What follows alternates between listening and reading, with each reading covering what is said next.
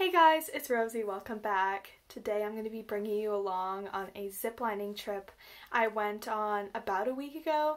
I was in Colorado, um, just outside of Salida, and it was a super fun trip. I think there were six ziplines um, and I've been ziplining twice before this, so it was really different actually from what I was used to. Um, first of all, we went through a canyon, which was super cool. The only other zip lines I've done were in New Hampshire, where I live, and um, they were like through the treetops, so you were going like tree platform to tree platform, but this time it was like platform um, like on the side of the canyon to the other side and we had little walks in between them so it was really pretty um, I really enjoyed the scenery so I hope you guys enjoy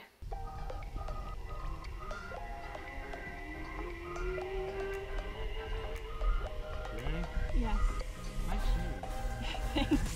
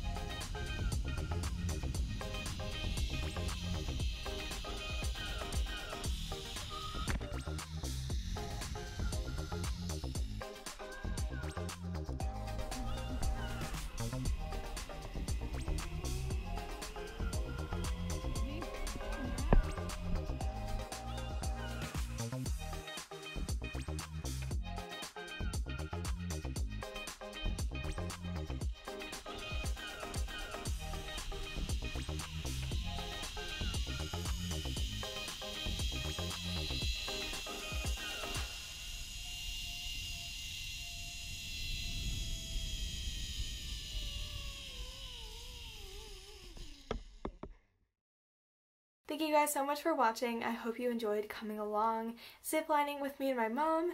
I had a lot of fun. It was a really cool experience.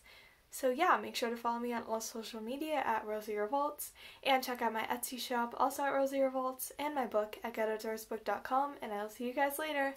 Bye!